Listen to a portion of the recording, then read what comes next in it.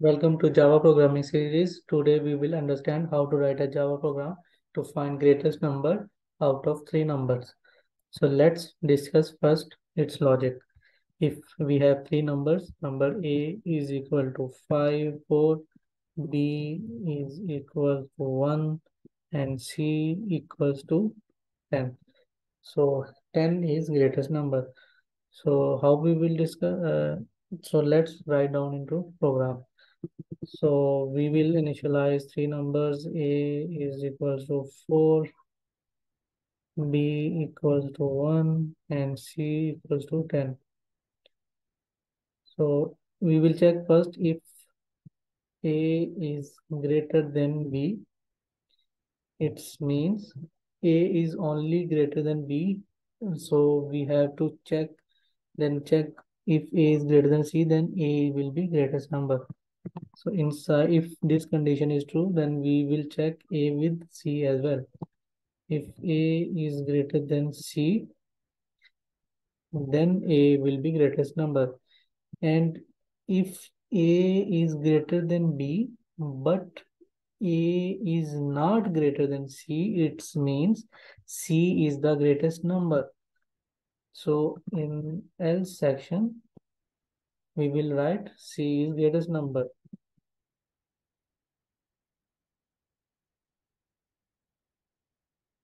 C is greatest number. And if A is greater than B, then A is also greater than from C.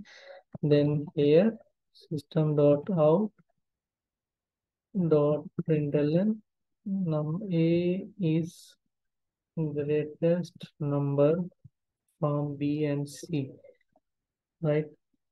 And if A is not equals to B, it means A is not greater than B, then B is greater than A. In else section, then it means A is less than B and B is greater than A. Now we have to check if B is also greater than C or not.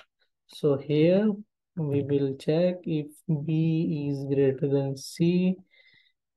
It means B is greater than greatest number. B is greatest number. And if A is greater than, if B is greater than A and B is not greater than C, it means C is the greatest number.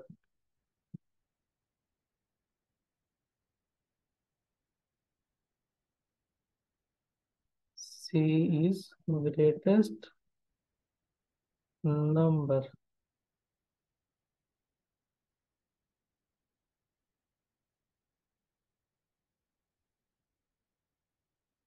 So let's execute uh, and check what is the output. According to these numbers, C is greatest number. So let's check if our output is also correct. So C is the greatest number. And if we increase B with 11, so B will be greatest number. And if we initialize A with 40, then A will be, should be the greatest number.